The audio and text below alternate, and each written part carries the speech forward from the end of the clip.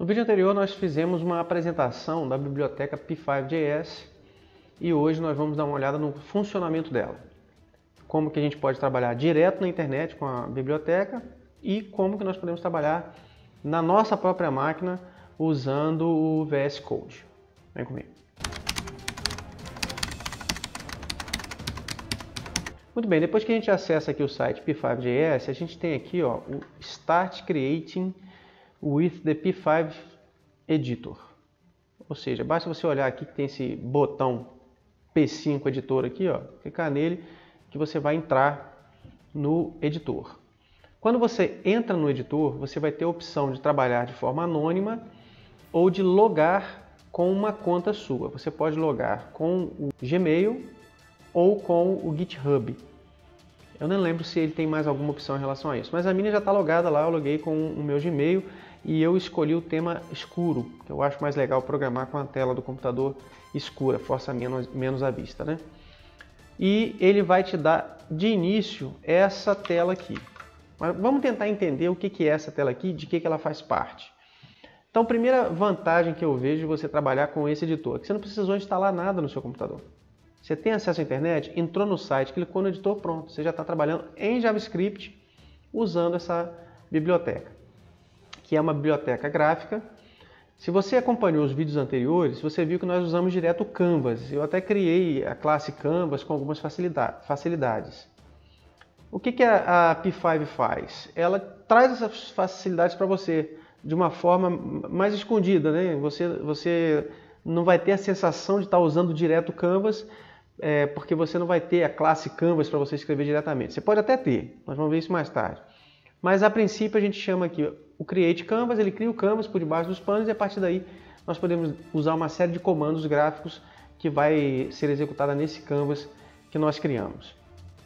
Mas vamos tentar entender a estrutura por trás aqui dessa, dessa biblioteca ou desse editor. O que, que esse editor tem? Se você vier aqui nesse cantinho esquerdo aqui, olha, você tem a setinha ali em cima para você rodar o programa. Não é essa setinha que eu quero mostrar para vocês, é essa aqui, ó. Essa setinha aqui mostra três componentes. O index.html, o sketch.js, que é o, o, arquivo de script JavaScript, que é o arquivo né, de programação JavaScript, e o style CSS. Então ele tem um style muito simples e ele tem o index.html também muito simples, onde ele aponta aqui para a biblioteca P5.js, que está no CDN, né, na internet. Também ele usa aqui a P5 Sound. Nós vamos ver mais para frente. E basta isso, aqui o CSS e o Sketch.js. Ou seja, o que, que eu quero que vocês entendam com isso aqui? Se você quiser usar isso no seu é, VS Code, o que, que você pode fazer? Você pode simplesmente copiar esse HTML aqui, ó, criar o seu próprio HTML na sua pastinha de trabalho do, do VS Code, se você trabalha com VS Code, criar o Sketch.js ou um arquivo JS com outro nome qualquer e usar esse padrão, uma função setup e uma função draw. Nós já vamos ver para que elas servem.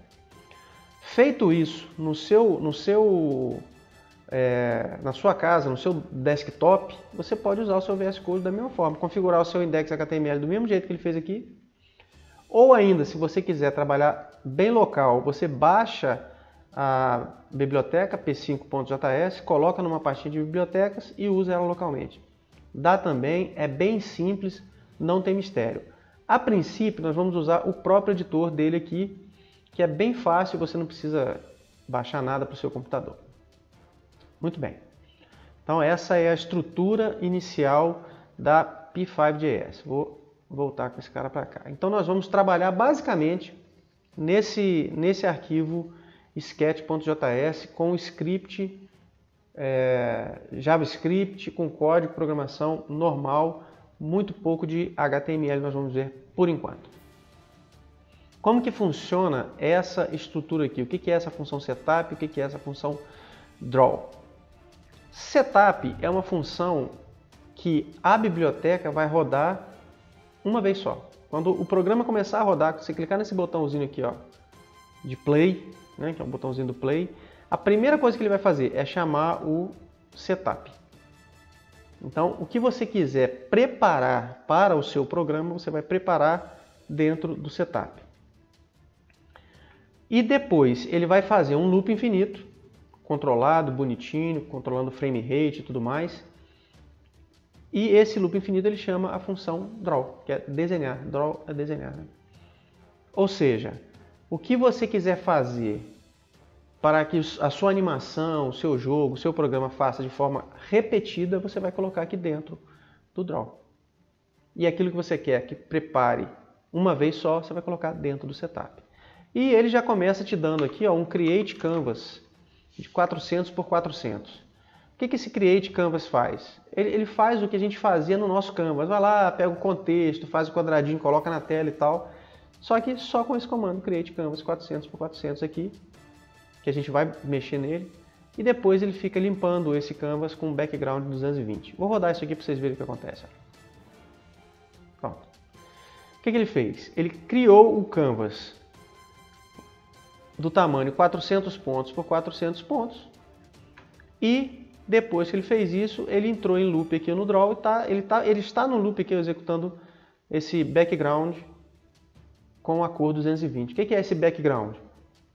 Bom, então aqui vamos para a primeira dica.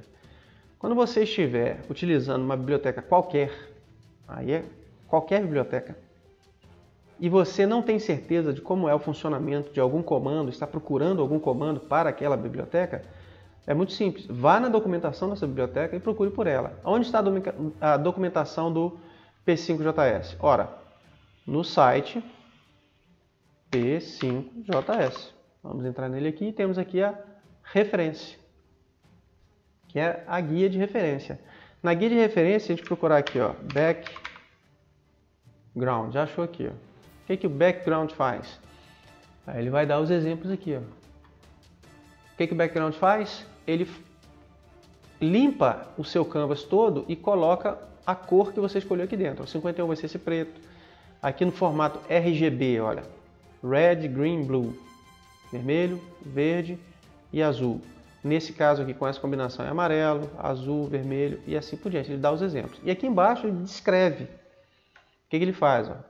The background function, blá blá blá blá blá blá. Ele seta a cor de fundo e limpa o seu canvas com aquela cor. Aí você vai ter aqui vários exemplos de como ele funciona, é, como é a sintaxe, quais os parâmetros que ele aceita e assim por diante. Por enquanto, o que, que nos interessa do background aqui? Nos interessa o, as cores, ó, o RGB.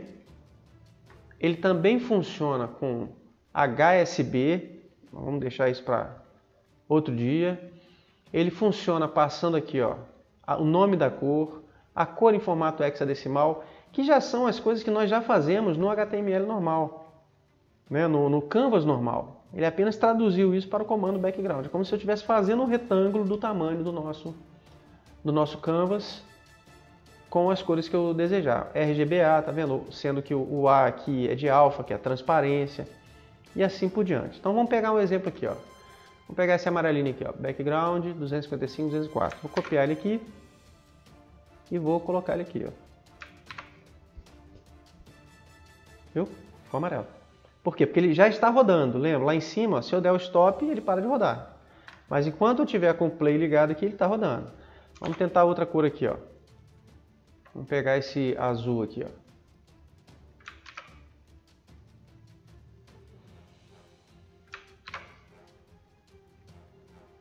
Ó, não gostou daquele azul não. Acho que ele se enganou lá, acho que aquele exemplo lá... Ah, é porque ele mudou o Color Mode aqui, ó.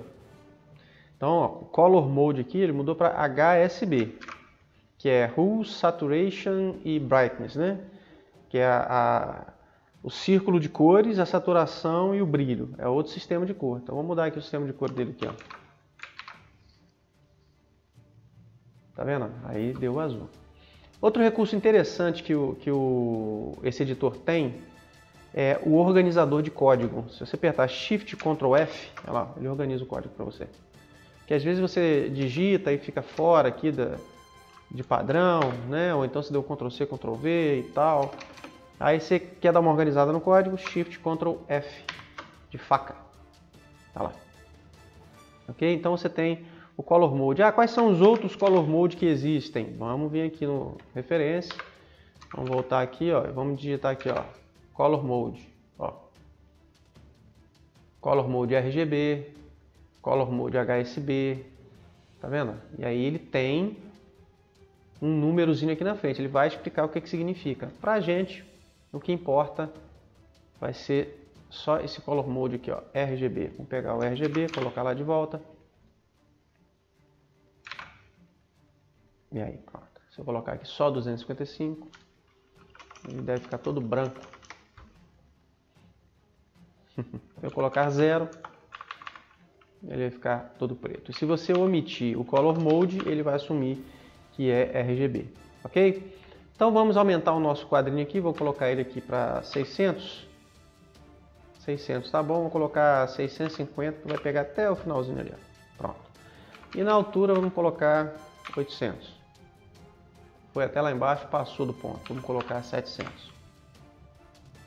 Tá aí. 750 para ficar legal. Pronto. Tá. Certo, então temos aí um canvas de 650 por 750. Ele rodou o setup uma vez, rodou o draw, está rodando o draw indefinidamente. É assim que funciona a P5JS, tanto nesse editor quanto se você quiser usar no VS Code em casa.